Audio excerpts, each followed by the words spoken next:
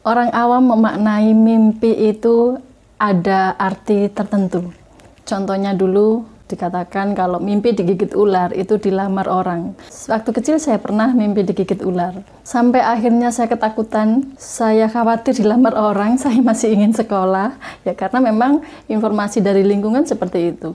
Atau dikatakan kalau mimpi tertawa itu akan sedih. Jadi kalau mimpi tertawa gembira, jadinya makin sedih. Oh jangan-jangan ada kesedihan, jangan-jangan ada sesuatu yang membuat menjadi sedih gitu ya itu makna orang awam terhadap arti mimpi. Sebenarnya arti mimpi itu apa sih? Menurut pakar psikologi Sigmund Freud, tonton dalam video ini, tonton sampai akhir agar mendapatkan manfaat yang utuh.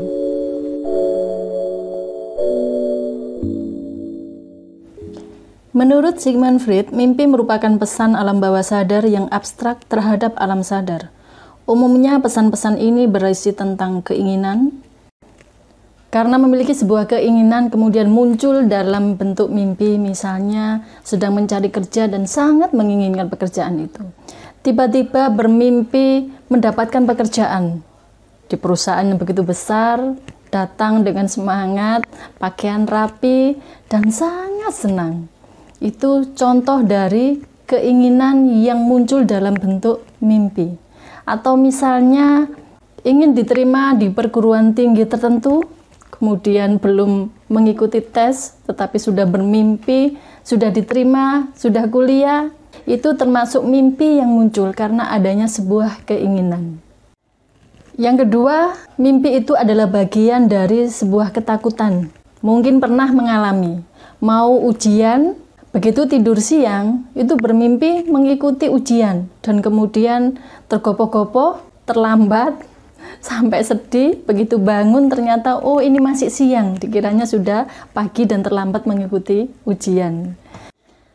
Atau karena berbagai aktivitas emosi lainnya, adanya rasa gelisah, rasa khawatir itu bisa muncul juga dalam bentuk mimpi. Takut dalam muncul dalam bentuk mimpi Misalnya dikejar-kejar anjing, dikejar-kejar orang gila, karena adanya rasa khawatir yang dipendam.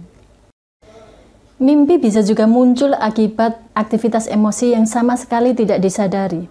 Misalnya rasa sedih yang terabaikan, atau berusaha untuk dilupakan, ditekan, ditekan, direpres, dan muncul dalam bentuk mimpi.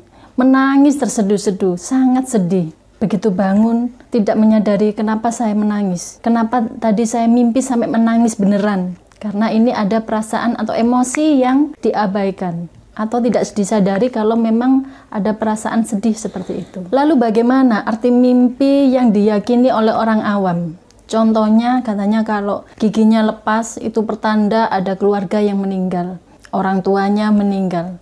Ini bisa menjadi sebuah keyakinan yang salah di saat kemudian mengalami mimpi gigi lepas dikaitkan dengan hal negatif, maka akan memunculkan kesedihan, akan memunculkan kekhawatiran. Mimpinya dimaknai dengan versi keyakinan masing-masing, dan itu dampaknya negatif. Seperti tadi, kalau tertawa, senang, bahagia, katanya akan mendapat kesedihan.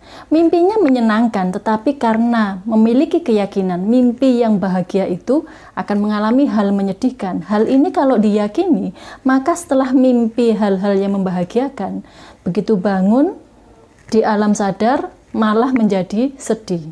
Jadi, keyakinan itu sendiri bisa berpengaruh terhadap mimpi yang dialami. Fred menyatakan bahwa mimpi adalah sebuah saluran pengaman bagi emosi manusia di mana emosi atau perasaan-perasaan yang ditekan selama terjaga dapat dikeluarkan secara sehat lewat mimpi.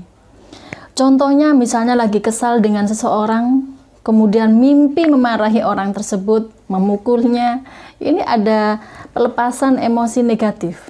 Dilepaskannya dalam bentuk mimpi. Mimpi apa Anda kemarin malam? Silakan tulis di kolom komentar. Sekian sharing saya hari ini, semoga mendapatkan manfaat dan tidak memaknai mimpi dengan hal-hal negatif. Nikmati saja, kalau mimpi buruk ya berdoalah, kalau mimpi baik berdoalah agar mewujud. Jika mimpinya buruk ya berdoalah agar tidak mewujud.